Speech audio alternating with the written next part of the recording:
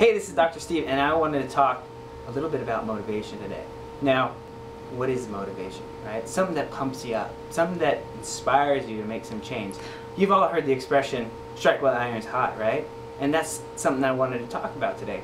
So, whatever it is that gets you pumped up, inspired, motivated, you gotta take some action immediately. So, take New Year's resolutions, for example.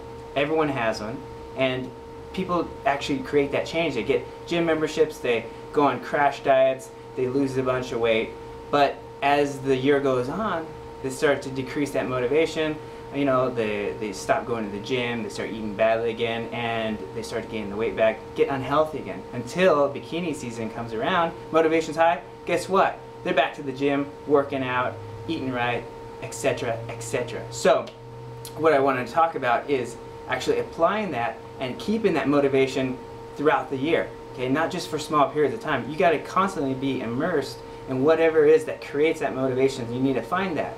So, what I want you guys to do, each and every one of you, is to click on some of the links below. Maybe some of your goals for this year are to exercise more, to lose some weight, or to get healthier, or just get out of pain. And so I want you guys to click on the links below, or you can even call our office to schedule an appointment or come into one of my free health workshops. So, this is Dr. Steve, hoping for a new you in 2011. I'll see you soon.